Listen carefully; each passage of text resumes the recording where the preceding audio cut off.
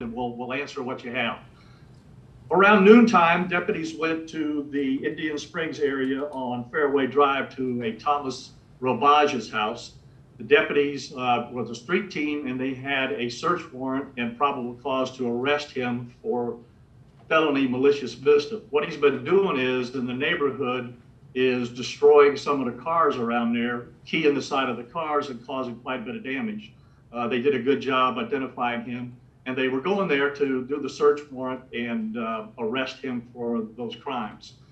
Um, their intent was to surveil the residence for a little while to see if they could catch him outside coming out, because it's a lot easier like that. But uh, obviously, he wasn't coming out. So, just a little bit before one o'clock, uh, they knocked on the door. Uh, his brother Timothy came to the door. They said that they were there to do a search warrant and talk to him.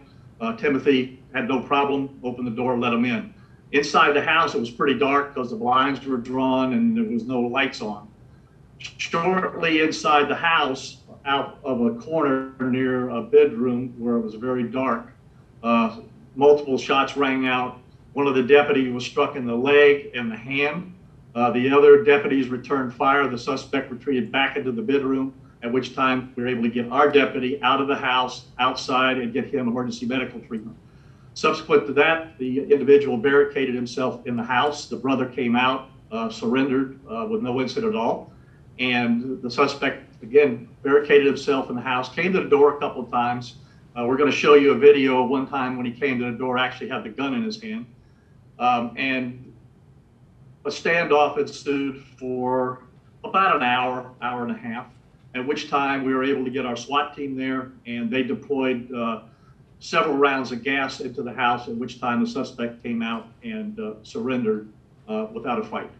So he's in custody now.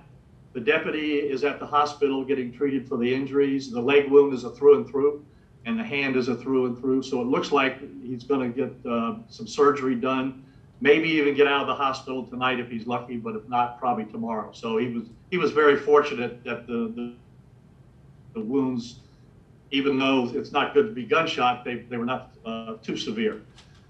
This guy is facing three counts of attempted murder of a police officer, and he's presently in our custody and will be lodged into the county jail. He has a past. Back in 97, he was charged with aggravated assault without intent to kill. Uh, that case was not adjudicated, and he had a DUI in, in 2009. Other than that, we really haven't had any contact with him. Uh, again, he had a, a, a, pretty good crime spree going there in that neighborhood, and uh, you know we're able to identify him. But you know it's hard to tell. That was not a serious warrant, even though the crime is serious as far as destroying people's property. So there's no really rhyme or reason unless he's involved in something else that we don't know about it. He figured that we knew about it. So we've got another search warrant that we're going to execute on the house to see if there's other firearms in there, which we believe there is. Uh, seize his computer stuff and uh, see if there's anything else going on. Uh, Ms. Barbera is going to let you view the video of him coming to the door with the gun and will provide you with all his information against this Thomas Robarge, born in 1960. And um, that's where we stand right now.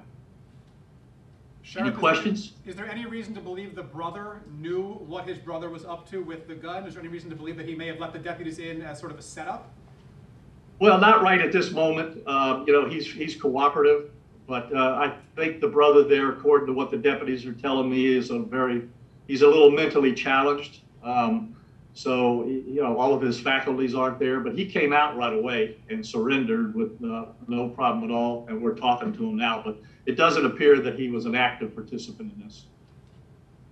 Given what happened on Friday with somebody shooting at a deputy? Again, that is uh, Sheriff Rick Bradshaw talking about the shooting of a Palm Beach County Sheriff's deputy in West Boynton Beach near the Indian Spring Country Club this afternoon around 1 o'clock. Deputy serving a search warrant uh, connected to some vandalism of cars. We're happy to say the deputy does appear to be okay, but will require surgery with uh, two gunshot wounds.